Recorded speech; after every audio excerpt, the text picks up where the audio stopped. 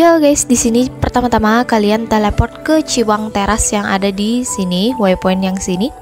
Sebelumnya kalau kalian belum membuka area ini, kalian harus menyelesaikan misi berkah Shenyu dari Gyo Karam ya guys ya.